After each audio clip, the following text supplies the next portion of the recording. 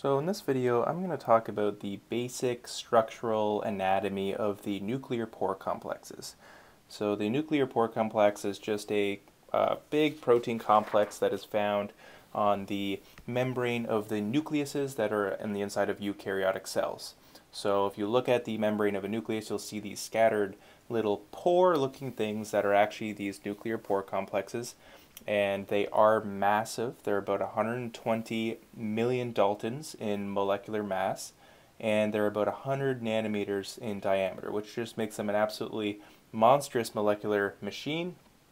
Um, the proteins that make them up are called nucleoporins, and they're found in multiples of eight, so it just means that uh, so they have an eightfold symmetry.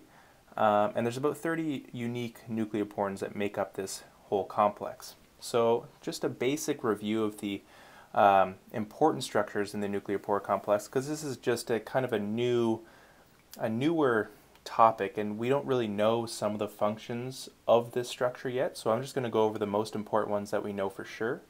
So this is the cytoplasmic side, and this is the inside of the nucleus.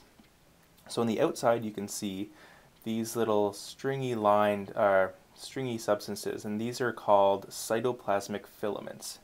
And they kind of act like sensors that can actually bind to certain signals that are attached to molecules that are trying to get inside the nucleus.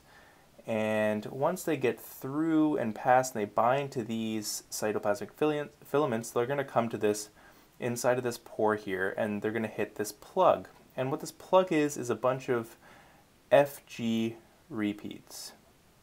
So the FG stands for phenylalanine glycine repeats. So this part of the nuclear pore complex is really hydrophobic and really disordered. So it acts like a plug, so not just anything can flow through.